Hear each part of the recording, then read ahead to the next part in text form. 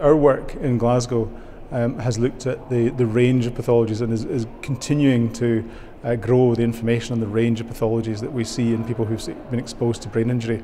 And so far, we, we, what we're seeing is, is, variations of a theme that you would, you would see in other dementias as well. So we see amyloid pathologies, we see tau pathologies, uh, we see abnormalities with inflammation, with blood-brain barrier. You know, th these are all things that we see in other types of dementia as well. Um, but again, the important thing is that in the trauma-associated dementia, we know what has set this off. We know we know it's been the head injury which has begun the process of degeneration. So we can use that time frame to begin to understand which may be the most important, which which is the one that's driving it. And I think that will then inform other dementias like Alzheimer's.